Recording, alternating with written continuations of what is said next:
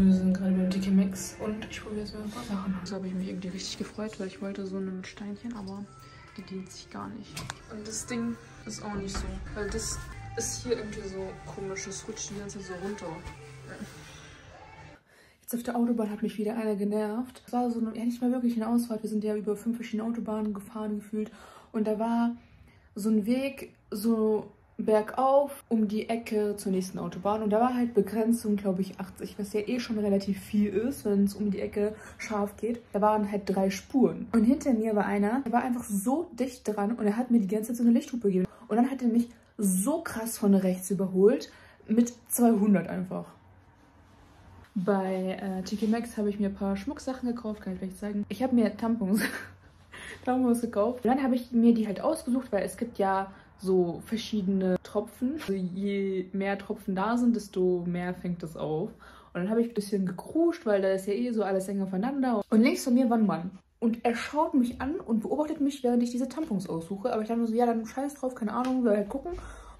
Und dann sagt er so, was genau ist es denn? Ich so, ja, Tampons. Also, ah, Tampons. Er so, und welche Größe nimmst du?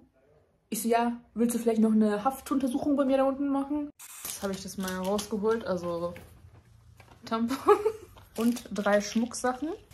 Einmal solche Kreolen.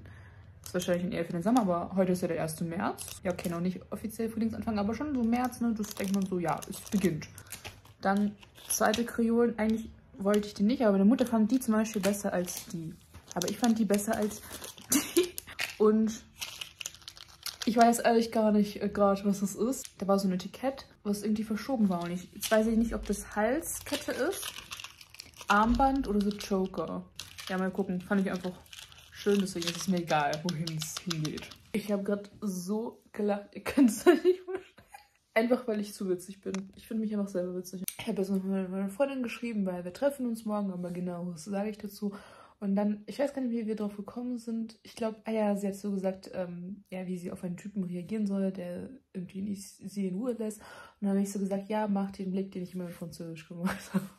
Und es ist einfach so zu Meme geworden. Wir haben Millionen von Bildern, aber das ist halt so der Franzé-Blick, haben wir das so genannt. Dann habe ich so gesagt, ja, mach einfach meinen Franzé-Blick.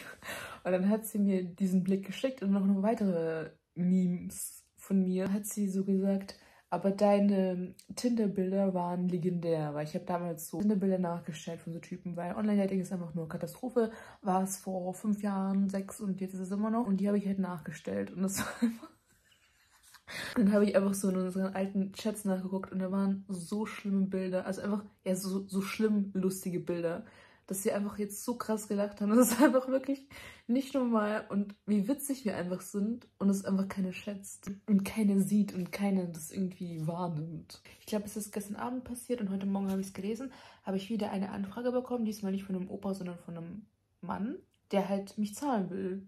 Und ich weiß halt nicht, warum die alle so auf mich kommen. Und das Schlimme dabei ist, dass es keine Fake-Accounts sind. Das sind halt so wirkliche Leute. Und irgendwie verstehe ich ja nicht, was die bei mir wollen. Also ja, ich möchte, dass du glücklich bist und ich zahle dir gerne ab 1000 Euro. Du bist glücklich, ich bin glücklich, jeder ist glücklich und du hast sogar mehr davon als ich. Also ich bin dann nur glücklich, aber du bist glücklich und hast noch Geld. Äh, denkst du, ich verkaufe mich für 1000 Euro? Muss schon ein bisschen mehr bieten. Und dann hat er so gesagt, als ich nicht darauf geantwortet habe, ja, wir können ja erstmal so locker starten und ich schicke dir einfach so Geld zu, einfach so, damit du so gut drauf bist und einfach so, ja, das Leben genießen kannst, dir was Schönes kaufen kannst. Und dann fragen mich Leute, Typen, warum ich hohe Ansprüche habe. Mir wird einfach so Geld zugeschickt, einfach damit ich lache, damit ich glücklich bin, damit ich einfach so mit Freude durchs Leben gehen kann, ja. Deswegen habe ich hohe Ansprüche. Die Männer verbiegen sich nach mir.